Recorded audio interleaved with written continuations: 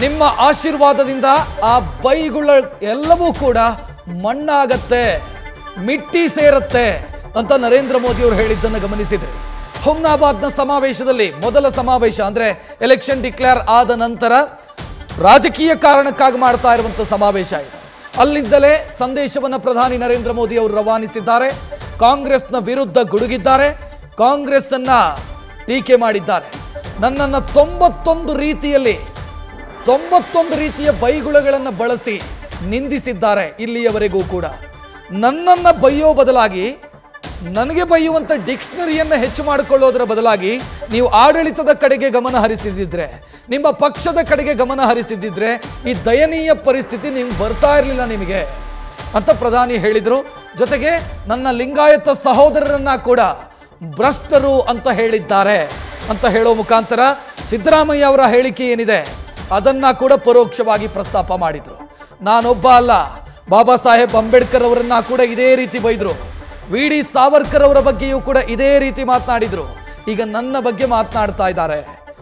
ಆದರೆ ಈ ಬೈಗುಳಗಳು ಎಲ್ಲವೂ ಕೂಡ ಮಣ್ಣು ಸೇರುತ್ತೆ, ಮಣ್ಣಲ್ಲಿ ಮಣ್ಣಾಗತ್ತೆ. ಈ ಬೈಗುಳಗಳಿಗೆ ಓಟಿನ ಮುಖಾಂತರ ಉತ್ತರವನ್ನು ಕೊಡಿ ಅಂತ ಪ್ರಧಾನಿ ನರೇಂದ್ರ ಮೋದಿ ಬಿಜೆಪಿ ಕಾರ್ಯಕರ್ತರ ಮುಂದೆ ಪ್ರಸ್ತಾಪ ಮಾಡಿದರು. ಬಿಜೆಪಿ ಸಮಾವೇಶದಲ್ಲಿ ಮಾತನಾಡ್ತಾ ಈ ವಿಚಾರವನ್ನು ಹೇಳಿಕೊಂಡು ತೊಂಬತ್ತೊಂದು ರೀತಿಯಲ್ಲಿ ತೊಂಬತ್ತೊಂದು ಬೈಗುಳವನ್ನು ಬೈದಿದ್ದು ಬೇರೆ ಯಾರೋ ಚಿಕ್ಕ ಪುಟ್ಟ ನಾಯಕರಲ್ಲ, ಕಾಂಗ್ರೆಸ್ನ ಪ್ರಮುಖ ನಾಯಕರೇ ಅಂತ ಹೇಳೋ ಮುಖಾಂತರ ಹಿಂದಿನ ವಿಚಾರಗಳನ್ನೆಲ್ಲವನ್ನ ಕೂಡ ಅವರು ಪ್ರಸ್ತಾಪ ಮಾಡಿದರು. ತೊಂಬತ್ತೊಂದು ರೀತಿಯ ಬೈಗಳ ನನಗೆ ಕಾಂಗ್ರೆಸ್ನವರು ಇಲ್ಲಿ ತನಕ ಬೈದಿರೋದು. ಅಂತ ಪ್ರಧಾನಿ ನರೇಂದ್ರ ಮೋದಿ ಅವರು ಹೇಳೋ ಮುಖಾಂತರ ಆ ಬೈಗುಳವನ್ನೇ ಅಸ್ತ್ರವಾಗಿ ಪ್ರಯೋಗಿಸುವಂಥ ಮುನ್ಸೂಚನೆಯನ್ನು ಹುಮ್ನಾಬಾದಲ್ಲಿ ಕೊಟ್ಟಿದ್ದಾರೆ. ಈ ಹಿಂದೆ ಅಂದರೆ ಅವರ ವಿರುದ್ಧ ಸೌದಾಗಾರ್ ಅಂತ ಸೋನಿಯಾ ಗಾಂಧಿಯವರು ಬಳಸಿದಂಥ ಬೈಗುಳ ಇರಬಹುದು. ನೀಚ್ ಆದ್ಮಿ ಅಥವಾ ಚಾಯಿವಾಲ ಈ ರೀತಿಯ ಬೈಗುಳವನ್ನೇ ಯಾವ ರೀತಿ ನರೇಂದ್ರ ಮೋದಿಯವರು ಅಸ್ತ್ರವನ್ನಾಗಿ ಬಳಸಿ ಆ ಬೈಗುಳದ ಮುಖಾಂತರವೇ ಪ್ರಚಾರವನ್ನು ಯಾವ ರೀತಿಯಲ್ಲಿ ಮಾಡಿಕೊಂಡ್ರೋ ಅದೇ ಮುನ್ಸೂಚನೆ ಈಗ ಕರ್ನಾಟಕದಲ್ಲೂ ಕೂಡ ಸಿಗ್ತಾ ಇದೆ.